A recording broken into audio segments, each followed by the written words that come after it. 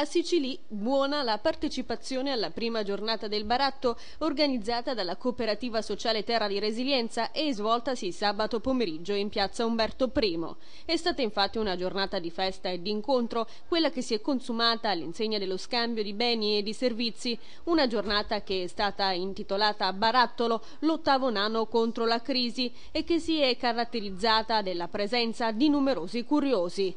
Quadri, oggetti d'antiquariato, alimenti dell'orto, semi-antichi e saponi artigianali sono i beni presentati alla comunità dello scambio, ma c'è anche chi, come un gruppo di giovani, ha barattato beni immateriali offrendo la propria esperienza nella creazione di siti internet e di video, oppure chi, in cambio di un oggetto, ha regalato la sua prestazione musicale o un reportage fotografico sull'evento.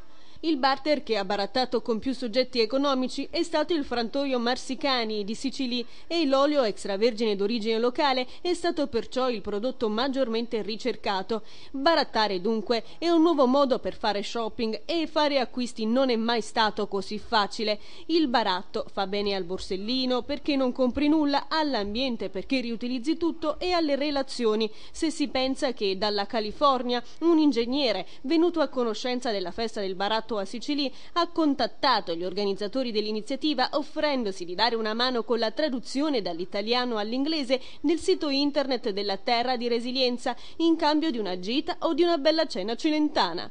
Soddisfatto tutto lo staff della festa del baratto che auspica possa diventare l'iniziativa un evento a cadenza mensile.